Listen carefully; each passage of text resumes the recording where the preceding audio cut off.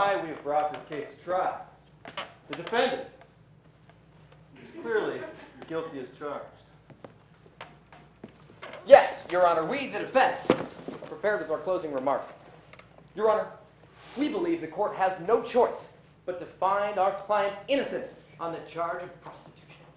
That's totally what I was thinking. My client, Misty Delight, is accused of engaging in the world's oldest profession.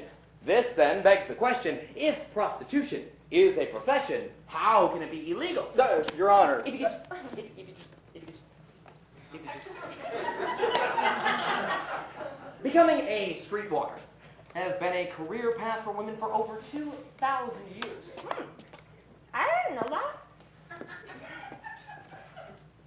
There is evidence of women having sex for profit as far back as the Middle Ages, even Babylon. There were streetwalkers in Babylon. Naturally, they weren't referred to as streetwalkers back then. Instead, they were known as monastery promenaders, And in ancient Greece, uh, Parthenon strollers, Rome, aqueduct strutters. In the Middle Ages, they were known as goat path hikers, and in the Old West, dusty trail amblers. So you see, Your Honor, for this vocation to have persisted for such a long period of time, society must consider it a viable occupation. Oh, a viable occupation? Does that mean I'm gonna have to start paying taxes? Uh, let's break this thing down, shall we, Your Honor? My client is formally charged with prostitution, from the Latin prostituere, meaning to expose publicly, or literally. The word comes from pro, meaning before, and statuere, meaning cause to stand, to establish. And that's what I was thinking. So, after applying the transitive property of multiplication, my client is charged merely with standing before a public exposition, And which. sometimes I have sex with men for money. Your Honor, I object.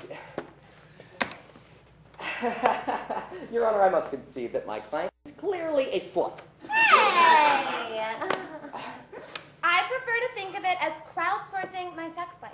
Y- yes, yes, perhaps she is the very definition of lewdness, but being a harlot, Your Honor, not a crime. Not a crime. And as you can see, my client is a cute little lass. Oh, and I've got a cute face too. And I always say that handing out a business card with my cell phone number on it doesn't make me a call girl. It just makes me a girl that one can call. um, I, I, I will also concede that it is not entirely wrong to refer to her as a woman of the night, if only because she likes to sleep in, you know, wherever she ends up. That reminds me. Hey, I think I left my earring at your place the other night. Uh, Your Honor, I object. he didn't seem to object when I was there. Your Honor, all of this talk about legal stuff and then how the prosecutor likes to yell daddy while we're banging, it's getting me really confused. Y- Your Honor, I will allow that my client is not very intelligent. Intelligent? What does that even mean, really? Uh, finally, Your Honor, I admit that my client does, in fact, dress like a hooer. But, again, is this a, a fashion court?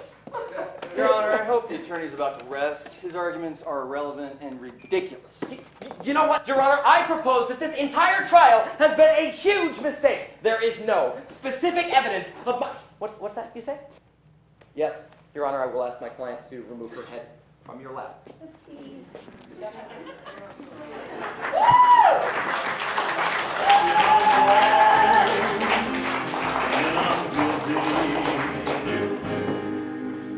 I'm guilty as charged. I ain't never lost a fight in my life. I'll send you home crying to your fat and ugly if they don't believe.